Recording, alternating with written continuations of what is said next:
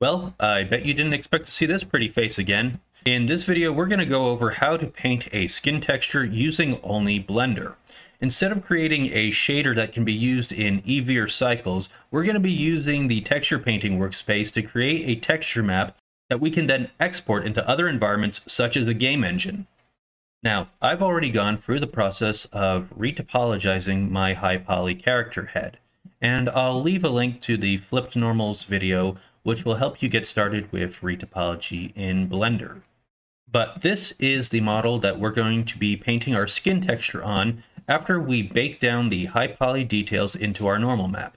So if I click on our low topology head and I tab into edit mode, you can see that I've already cut a number of seams and this head has already been UV unwrapped.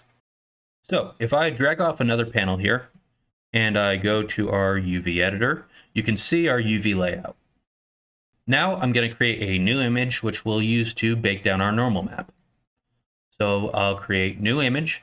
I'm going to create a 2K texture, so 2048 by 2048, and I'm going to call it head normal bake. Now I'm going to drag up a new panel and I'm going to go to our shader editor. I'm going to give our low topology head a new material and I'm going to create an image texture. I'm going to set this to our head normal bake. I'm going to plug that into a normal map node, which will be set to tangent space, and I'm going to plug that into the normal slot on our shader. Also, for our image texture, I'm going to switch it to non-color data. Now I'm going to go to my render properties, and I'm going to switch from Eevee to cycles because the baking options are only available in cycles. So I'm going to go down to my baking options, and I'm going to switch from combined to normal so that we're only baking a normal map. Next, I'm going to hit the checkbox next to selected to active. On the output, I'm going to put the margin pixels at 2. Now, if we hit the arrow next to selected to active, it brings up some more useful options. For one, the max ray distance is the distance from the surface of our model that Blender will shoot out a ray and scan for high poly detail to bake down into our mesh, while the extrusion value helps to inflate the active object so that Blender can better scan for high poly detail, similar to how you would use a cage. Now, this method is also very similar to how you do your baking in other programs such as Marmoset Toolbag or Substance Painter, and I'm often finding that you'll get better results using the extrusion value than you would if you were using an actual cage object. So I'm going to set my max ray distance to something of 0.01 meters, and I'm going to set my extrusion to something of 0.02. Now if I click on my image texture, and I'm going to unhide my high poly collection, and I'll hit control and select our high poly head. Now, it's important that the low poly object is still the active object, as that's the object that we're baking down to.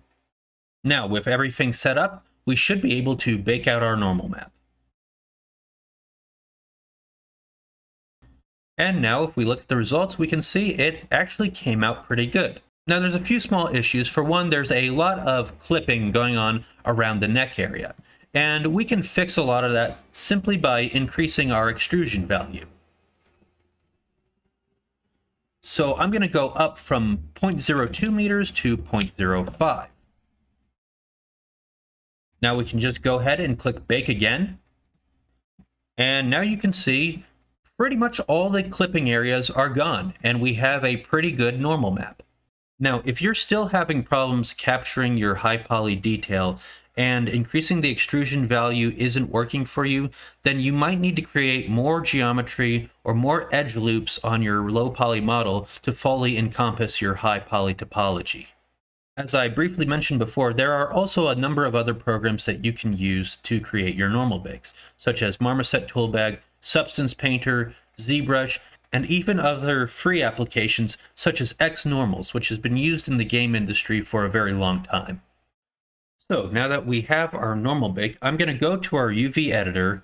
I'm going to hit N on the keyboard, and I'm just going to make sure it saves the results of our normal bake. Now, if we go back to our baking options, you can see that you can bake out a variety of other texture maps, including an ambient occlusion and your diffuse color. Now, these can be highly useful in the texturing process, but I'm going to go over some alternative means of creating these texture maps.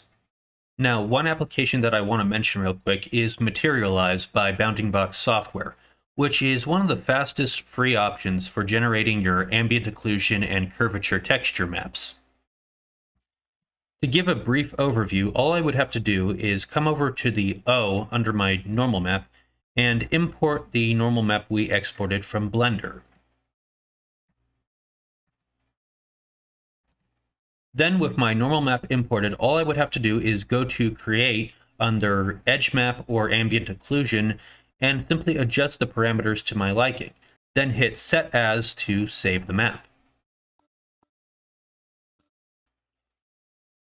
Now, if I wanted to also create a metallic or smoothness slash roughness map, I would have to import some sort of diffuse color texture, which we could do after we're finished with the skin painting texture.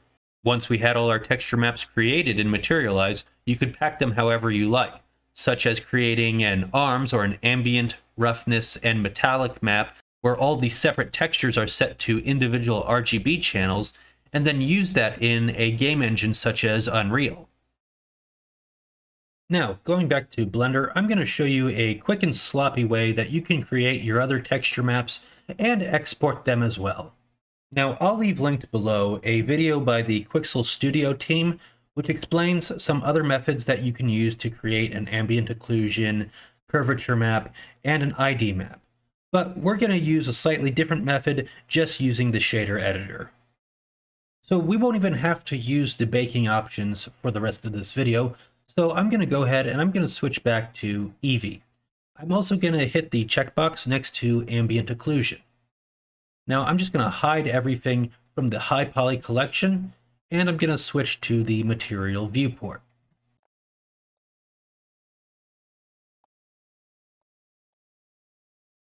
So now with the checkbox marked next to ambient occlusion, I'm going to go ahead and add an ambient occlusion node. And I'm going to plug our normal map into the normal input on the ambient occlusion node. And I'll take the ambient occlusion output and plug that into our base color.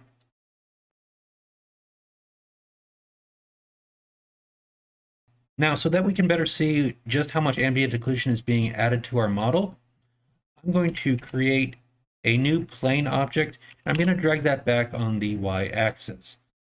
I'm then going to give this plane object the same material as our character head. And now if we zoom in, we can see the effect that the ambient occlusion node is having on our shader. Now, if we only want to preview what this ambient occlusion node is doing, then we can click on the node and then hit Control Shift and then click and that'll bring up this little viewer option so that we're only viewing the effects that this node and everything before it is having. But to do this, make sure that you have the Node Wrangler add-on turned on in your Blender preferences. Now, if I want to control this ambient occlusion independent from the normal map node that we're using for our normal input, then I'll just duplicate this one, drag it off, replug in our image texture, so with this normal map plugged into our ambient occlusion, I can independently increase or decrease the strength without it affecting the rest of our normal detail. However, this ambient occlusion is simply relegated to our shader editor. We need to export it in order to use it in another program such as a game engine. So I'm going to hit Shift S and select cursor to selected. Next in top view, I'm going to go ahead and I'm going to insert a new camera. I'll drag this camera up on the z-axis and in the camera properties, I'm going to switch it from perspective to orthographic.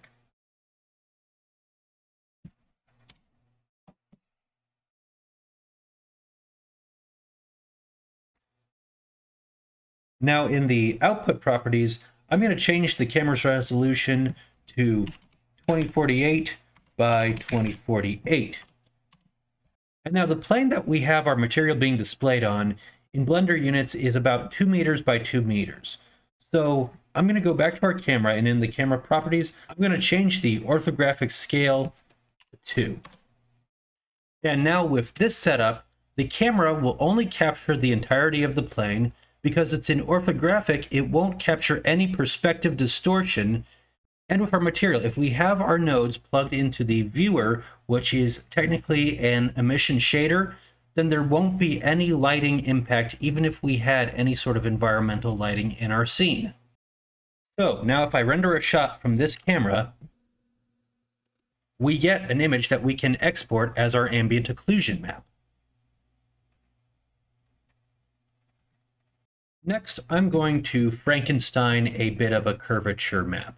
Now, you may or may not even need to create this map, but I'll show you some ways you can use it later on. So to start, I'll just grab my selection of nodes and I'll give myself a little bit more room. Now I'm going to create a separate RGB node and I'm going to directly plug in our normal map image texture into the separate RGB. Now I'm going to create a mixed RGB and I'm going to set it to multiply. Also increase the factor to 100 and I'm going to plug in the red and the green value to multiply them together. Once again, if I hit Control Shift and click, we can preview what that looks like. Now I'm going to create a color ramps node and I'm going to plug in our blue value. If I go to this arrow, I'm going to flip the color ramp to invert the blue value. Now I'm going to create another mix RGB node. I'm going to set this one to screen and I'll plug in the result of multiplying our red and green value with the inverted blue value. And once again, if I hit Control Shift and click, we can see what that looks like. And this is essentially giving us something that would be similar to a curvature map. I can also use the handles on the color ramp node to control the spread of some of the curvature effect.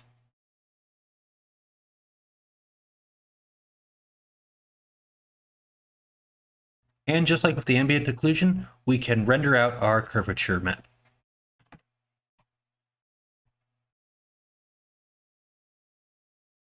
So now that we have finally covered all the groundwork, it is time to start texturing this character's head. So I'm going to jump over to the texture painting workspace and we'll create a new image. We'll call this skin texture at 2048 by 2048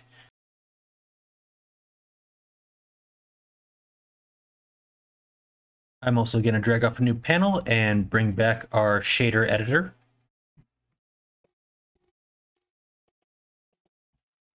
And I'm going to go ahead and insert the new image texture that we just made. I'll also create a mix RGB set to multiply with our ambient occlusion value being added on top of our skin texture.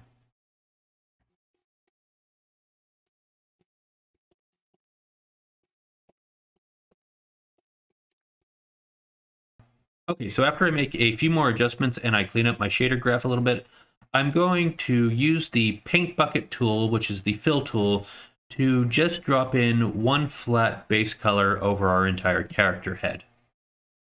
Now this flat base color might depend on the race and ethnicity of your character, but it should usually be something at a low to mid saturation and at a mid to high brightness. Just like with the sculpting workspace, we'll turn on the symmetry option so that whatever we're painting is mirrored over to the x-axis or whichever direction that you choose. Next, I'll start brushing in some highly saturated colors, which we are going to steadily blend into our character's skin texture. Now, these highly saturated areas represent the color zones of the face. In doing this, I'm making a lot of use out of my tablet's pen pressure sensitivity. I'm only lightly brushing in these colors and I'll often set the strength to a lower value, like 0.5 or 0.8. and then just lightly tap with my brush to mix in the colors. I also have the scroll wheel on my tablet set to adjust my brush size, but by default you can do this with the bracket keys on your keyboard. I'll also use the smudge tool to steadily blend areas together. I'm setting the smudge brush to a strength of 0.5 and then only lightly pressing with my tablet to steadily blend the three color zones together. When it comes to the color zones of the face, the forehead and top of the head will often have somewhat of a white yellowish hue because there simply isn't a lot more under the skin other than the skull. This is where the bone of the skull is probably pressed closest to the skin. As opposed to the cheeks, in which there are a lot of capillaries, veins, and blood vessels that are highly oxygenated and give the skin a more reddish hue in this area. Male characters will have more of a desaturated bluish tint around the chin and the jawline, mainly due to things like your 5 o'clock shadow. Now, this is of course much less pronounced on females, but it's still something to consider. Also, the blood vessels around the lips and in this area are a lot more deoxygenated, so the lips might have more of a violet purplish hue than a brighter red hue that the cheeks have. While I'm painting the base color of the skin, I'll often go to my viewport shading options by clicking the arrow next to my viewport shaders, and I'll switch it from combined to diffuse color.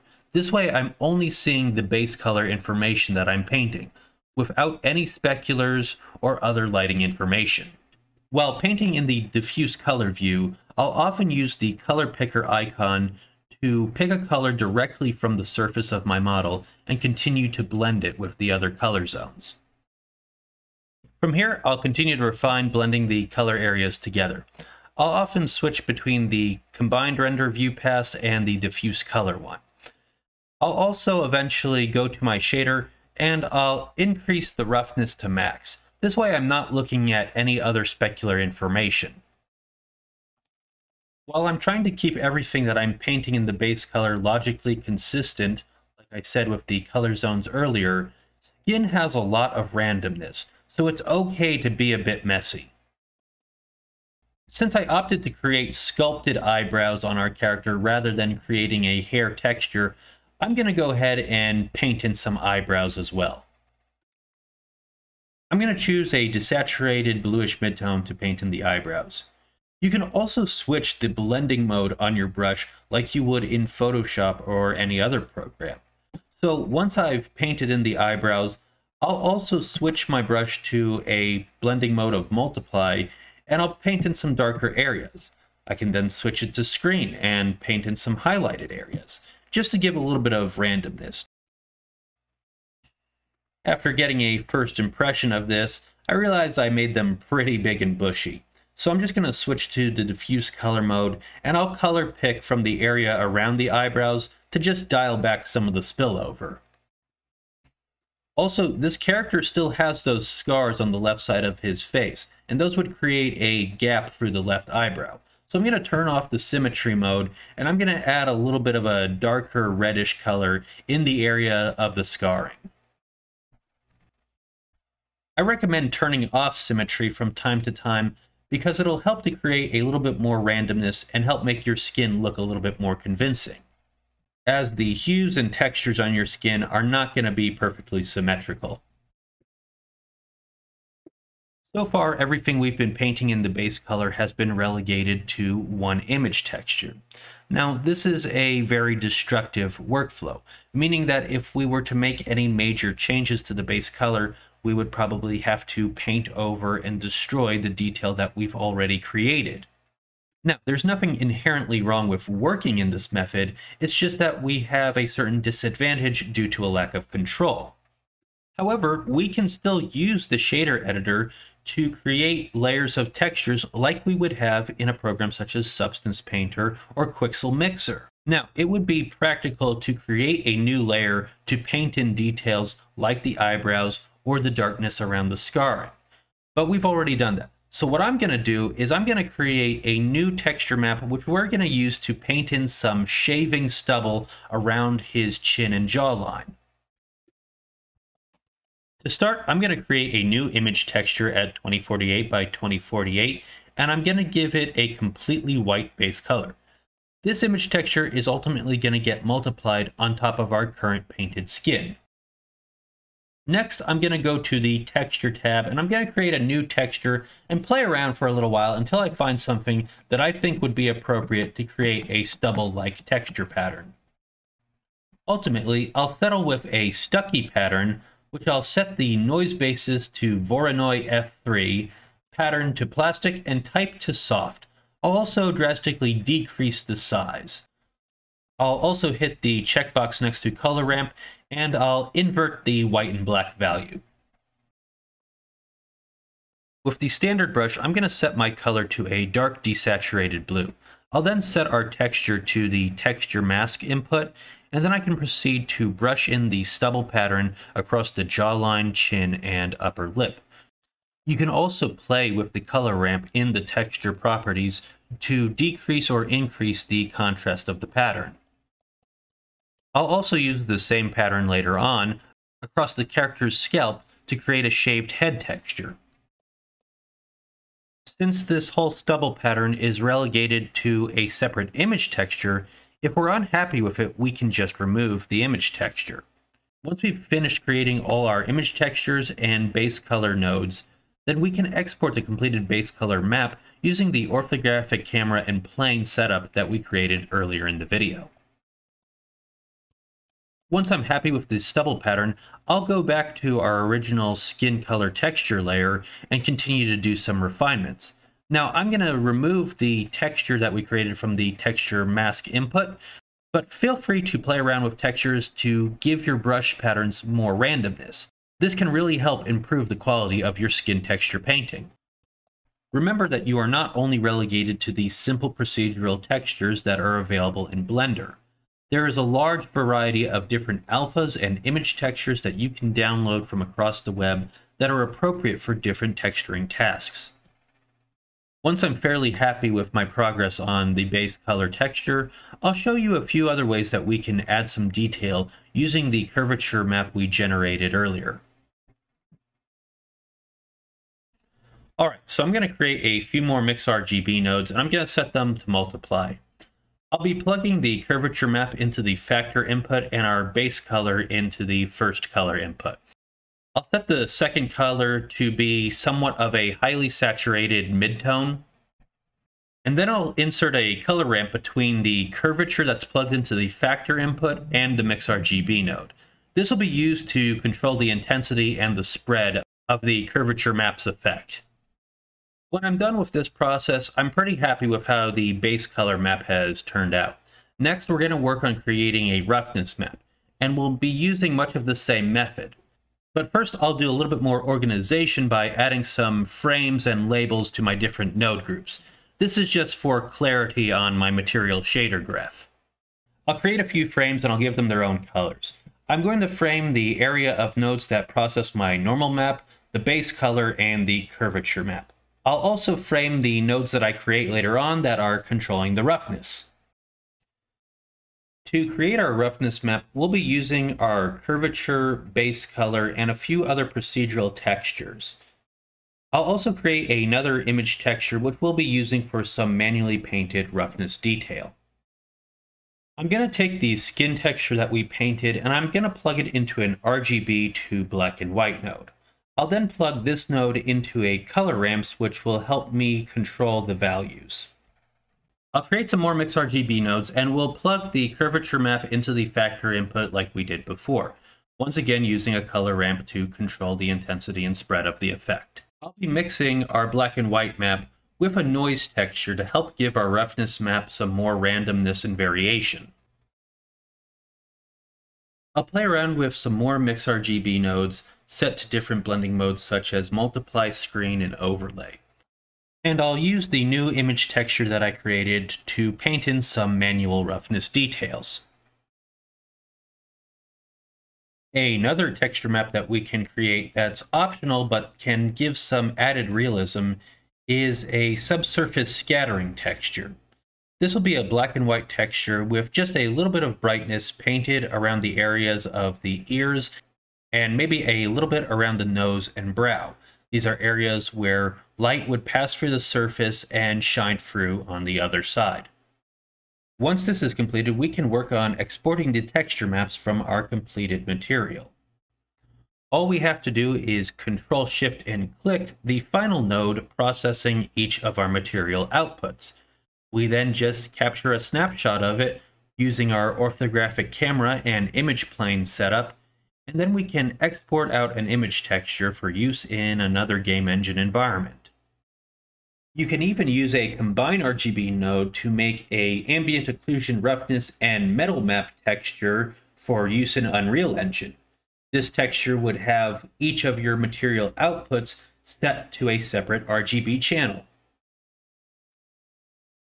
I'm using a downloaded image texture for the eyes in this instance that I downloaded from the ArtStation Marketplace, but you can find tutorials on how to create them procedurally in Blender as well. So I hope you found some part of this video useful. If you did, please consider subscribing and hitting the bell icon to receive a notification whenever I post a new video. So until the next one, good luck getting those projects done, and I'll see you in the next video.